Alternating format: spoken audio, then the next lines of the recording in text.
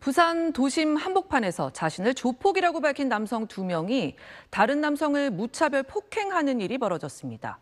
눈이 마주쳤단 이유에서입니다. 피해 남성은 크게 다쳤고 이 과정을 본 시민들도 큰 충격을 받았습니다. KNN 이민재 기자가 단독 취재했습니다.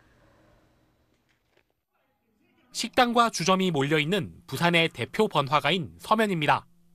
자정 무렵 도로 한복판에서 건장한 남성 두 명이 40대 남성 A씨를 무차별 폭행합니다. A씨가 몸을 가누지 못하자 머리채를 잡고 번갈아가며 얼굴을 집중적으로 때립니다. 이곳은 보시는 것처럼 평소에도 차량과 사람의 통행이 많은 번화가입니다. 자신을 조직폭력배라고 설명한 이들은 바로 이곳에서 시민들의 시선도 아랑곳 않고 무차별 폭행을 가했습니다. 피해자가 의식을 잃고 쓰러지자 이번엔 가게 안으로 들이닥쳐 일행에게 폭행을 이어갑니다. 계속 자기는 깡패다, 건달이라고 계속 얘기했습니다. 죽이려고 하는 느낌이었습니다.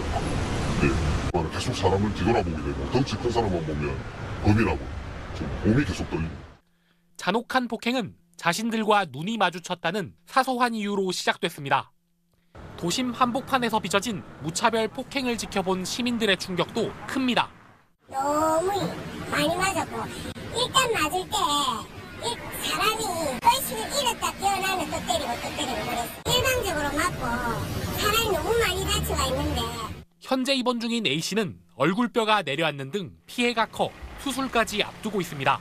자신들을 조폭이라 밝힌 가해 남성들은 경찰에 신상 정보를 남기고 귀가 조치됐으며 경찰은 수일 내 가해 남성들을 소환해 조폭 여부와 폭행 이유 등을 조사할 계획입니다.